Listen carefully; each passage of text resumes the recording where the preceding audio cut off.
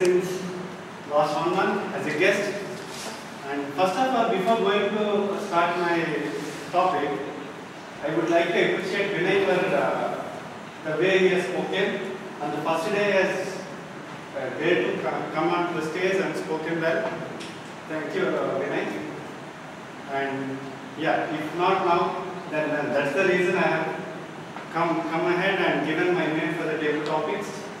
And I have given a couple of times before also, but unfortunately my name didn't come to. And thank you.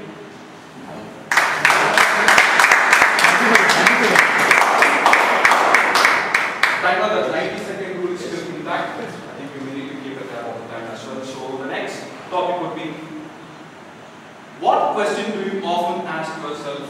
Talk on this, we might invite friends and family.